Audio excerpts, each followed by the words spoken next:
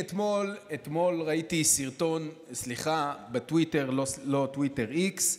קודם כל ראיתי סרטון שחברי חבר הכנסת רון כץ משבח את וסרלאוף אה, על פועלו, ואז ראיתי, נשבע לך, ציוץ אחד למטה, ראיתי את השר וסרלאוף מתקשר, מתקשר לראש עיריית אילת.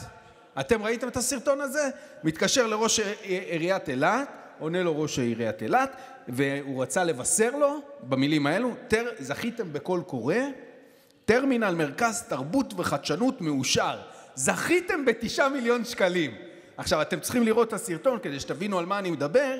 זה היה נראה כאילו אראלה ממפעל הפיס מתקשרת לבשר לראש העיר שהוא זכה בתשעה מיליון שקלים. עכשיו, אני בעירייה זכיתי באיזה שתיים, שלוש אה, קול קורא. אחד היה על מדיחים, רון אני מניח גם, אתם מכירים, זכינו בקולות קוראים. עכשיו, מה זה זכינו? מילינו ועמדנו בקריטריונים, לא איזה זכייה, וזכינו, זה לעירייה. מה זה נהיה? מה, מה, מה זה כסף שלך? מה זה זכיתם? אתה מתקשר, שר בחיים לא התקשר אליי, אמר לי זכית בקול קורא למדיחים. בחיים לא קרה, קרה לך? בחיים לא קרה.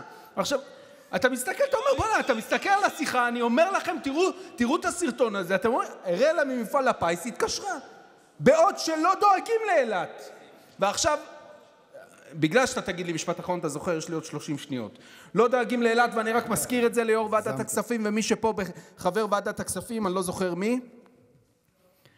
אילת מתמוטטת, העסקים שם מתמוטטים, היא האחרונה לצאת מהמשבר, 75% פחות בהכנסות, לא קיבלו עוד את כל הכספים, אבל את השיחה הזו, השר שאתה החמאת לו, עשה כאילו הוא ממפעל הפיס. זה לא כסף שלך, הם מילאו קול קורא, הם זכו, זה הכל.